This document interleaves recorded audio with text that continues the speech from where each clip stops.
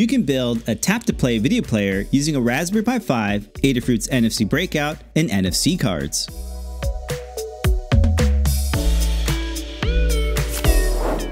To play a movie, just tap an NFC card over the 3D printed case. A Python script runs code that launches movies in the VLC media player.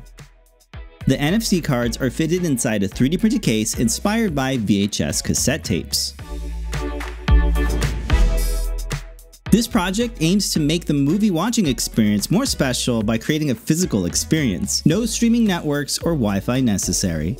A Python script allows you to assign video files to any NFC card and saves it to a CSV file, so you can create as many NFC movie cards as you like.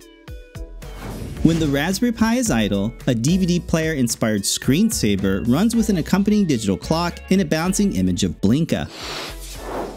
The M.2 hat lets you add an SSD, giving you plenty of disk storage for all of your media files. NVMe drives connect over PCIe, offering fast data transfers.